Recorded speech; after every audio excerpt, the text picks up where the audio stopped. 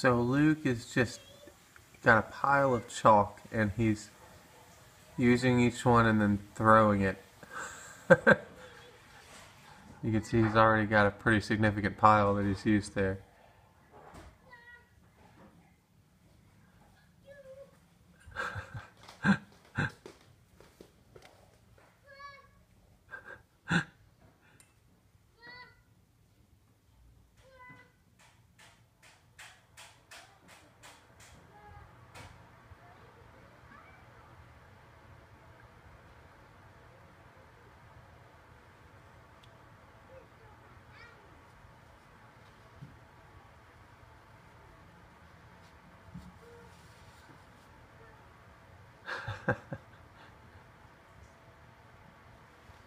I love these kids.